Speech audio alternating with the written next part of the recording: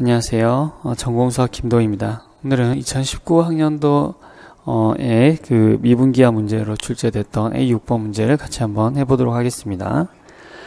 어, 자, 문제를 한번 보죠.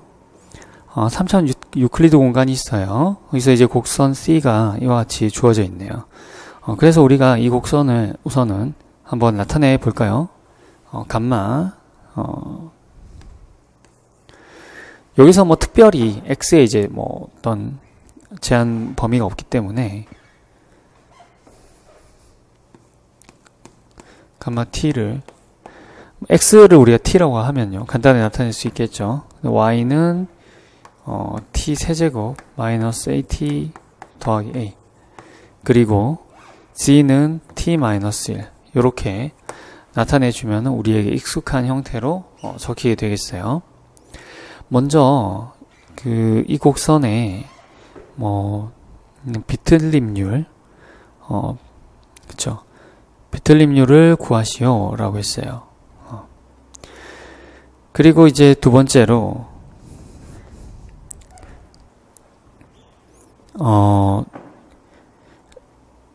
1,1,0에서 C의 공률이 3이 되도록 하는 A의 값을 구하시오. 이렇게 두 부분을 물어봤는데 어, 여러분들이 이제 비틀림률을 구하라고 했으니까 여러분들이 비틀림률을 구하는 일반적인 공식을 이제 떠올리실 수도 있겠어요. 자, 그런데 우리가 이제 여기서 어, 주목하는 부분은 어떤 부분이냐 하면은 어, 요 부분이 아니고 지금 이 부분이에요. 이 부분. 얘가 지금 어떤 어, 복잡한 식으로 주어졌든지 간에 일단은 이런 그쵸? 평면상이 있게 되죠. 간만은 평면 g equal to x 1 상에 있으므로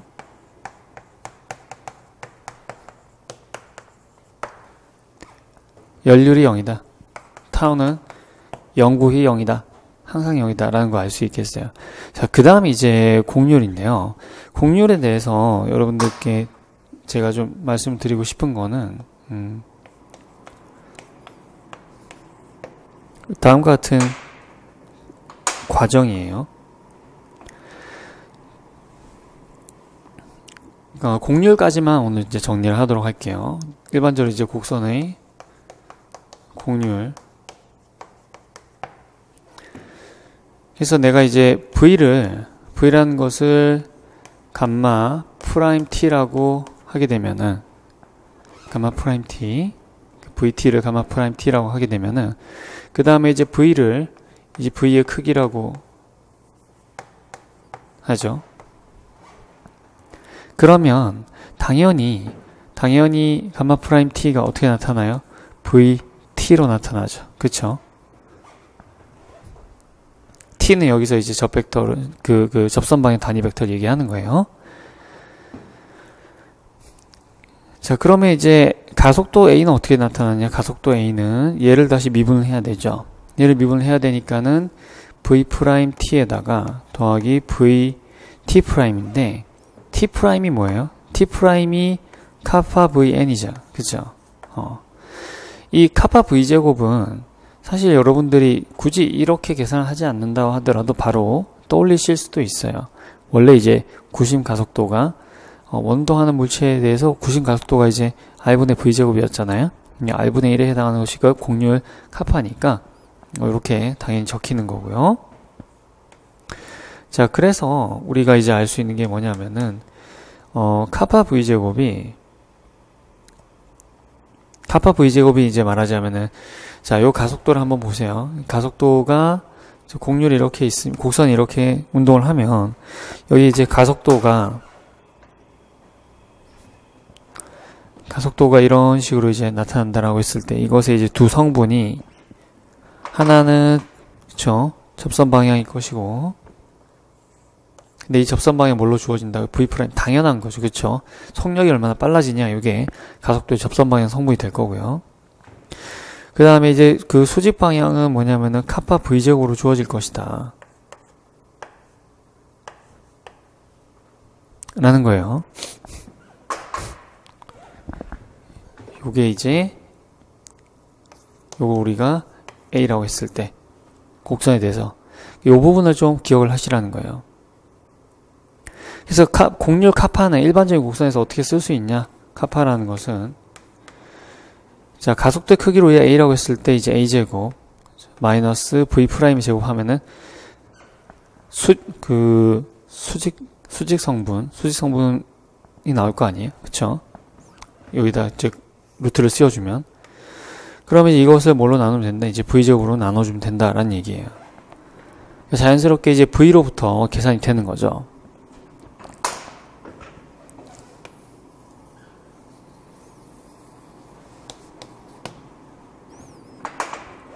자, 그래서 문제로 돌아가서 한번 보겠습니다. 그럼 감마 프라임을 계산을 해주면 감마 프라임 t는 이게 속, 속도죠. 1,3t 제곱 마이너스 a 아 여기 지금 a가 들어가 있으니까 저 a를 쓸 때 약간 살짝 조심해야 되겠어요. 그 다음에 이제 그 t로 미분해 주면 1 이렇게 되죠. 아, 요거는 이제 벡터니까 우리가 이렇게 쓰겠습니다. 그러면 이제 v는 뭐가 되냐면 v는 루트 자 요거 더하기 요거 제곱해주면은 339 t의 4제곱 마이너스 어 6at 제곱 플러스 a 제곱 더하기 1이죠. 그죠? 자 그래서 뭐냐면은 그 어, 한 번 더 미분해주면 가속도가 나오죠, 그쵸? 가속도. A는 0이고 3위는 6t 그리고 0이고 그쵸? 그래서 이제 카파가 뭐가 되냐면 카파는 저 공식에 의하면은 v제곱 v제곱이니까는 여기 2 더하기 a제곱에 마이너스 6a t제곱 플러스 9t 4제곱 그죠? 그 다음에 루트 a제곱. 요건 크기가 그냥 6t네요. 36 t제곱. 마이너스. 이제 v 프라임죠. V 프라임 어 v 프라임은 그쵸?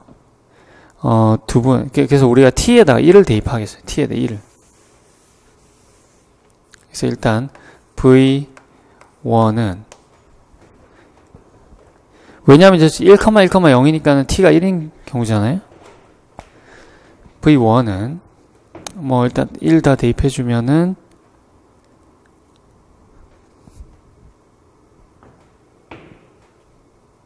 루트 그래서 2 더하기 어 a제곱 그래서 이제 마이너스 어 6a 그 다음에 더하기 9니까 10일 되나요? 그쵸?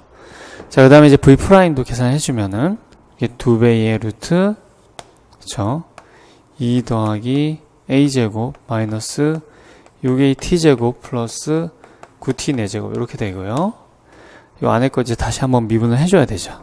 해주면은 마이너스 12at 플러스 36t의 세제곱. 이렇게 되겠어요.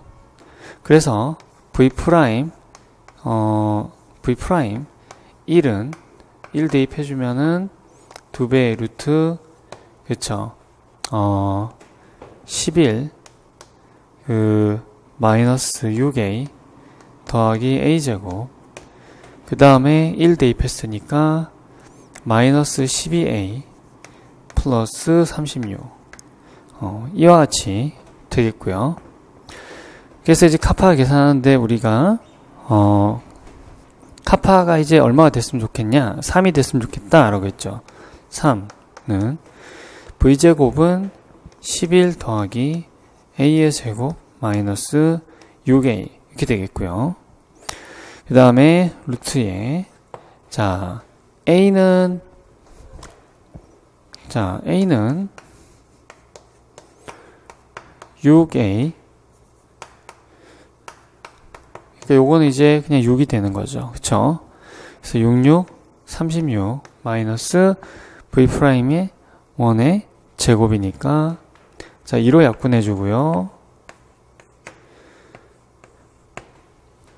제곱을 해주면 11 마이너스 6a 더하기 a 제곱에 어 6a 마이너스 18의 제곱이죠. 그쵸?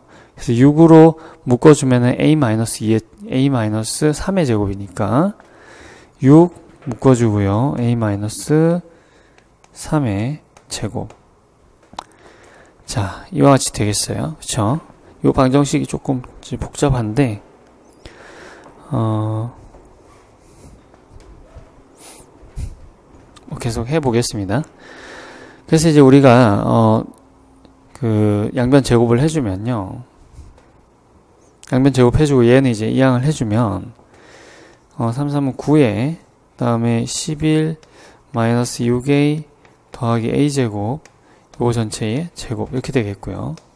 이쪽은 제곱을 해주면은, 36, 마이너스 11, 마이너스 6a, 플러스 a제곱에, 그쵸? 요거 분의, 요 곱하기 a 마이너스 3의 제곱. 자, 이렇게 되겠네요. 그쵸? 어, 지금 그 a-3이라는 부분이 반복적으로 나온다는 거 알 수 있어요. 그래서 우리가 a-3을 b로 치환해 볼게요.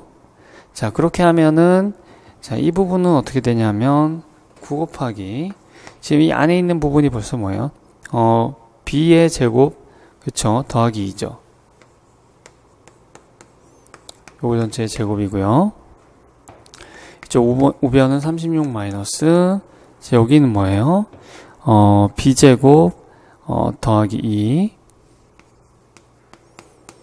분의 어, 6b제곱이네요.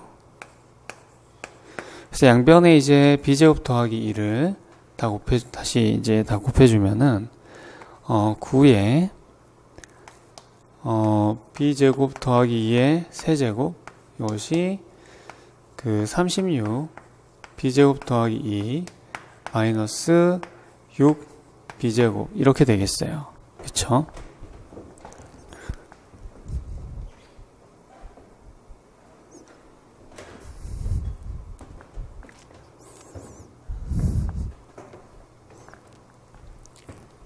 그래서 양변 일단 어, 어 우리가 다 3으로 나눠주고요. 그쵸?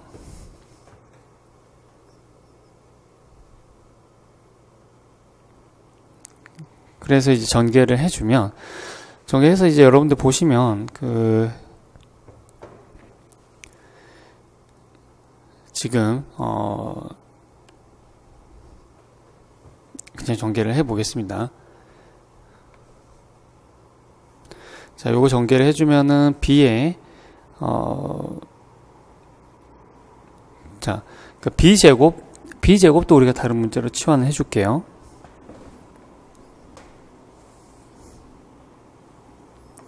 b제곱을 뭐 이제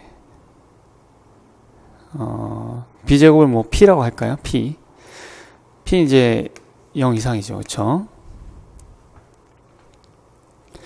그래서 이제 여기다 대입을 해주면은 9 그 다음에 이제 p 세제곱 그 다음에 더하기 6 p 제곱 그쵸? 그 다음에 12p 더하기 8 이것이 36p 더하기 72 마이너스 6p 자 이와 같이 되겠어요. 그쵸? 그래서 정리를 해주면은 어 9p 세제곱 더하기 6p 제곱 더하기 12p 72는 없어지죠 그쵸 그 다음에 여기 30이 있는데 32항에서 넘어오면은 어, 마이너스 30p가 되나요? 그래서, 어, 여기 54고요. 그 다음에, 그, 12, 그, 어, 9 곱하기 12, 9 곱하기 12 마이너스 36이 되나요? 아, 30이 되나요? 그쵸? 요게 이제 0인데 지금 p가 이제 0과 같거나 크잖아요. 그쵸? 그래서 p가 0 밖에 해가 없어요. p가 0이니까 따라서 뭐가 되냐면 우리가 a가 b는 0이고요. b는 0. 따라서 a가 어, 3이다. 라는 걸 여러분들이 어, 얻을 수가 있겠습니다. 그쵸? 자, 그래서 이제 미분기와 관련된 문제를 해결해 봤고요. 또, 어, 다음엔 이제 다른 문제를 가지고 만나 뵙도록 하겠습니다.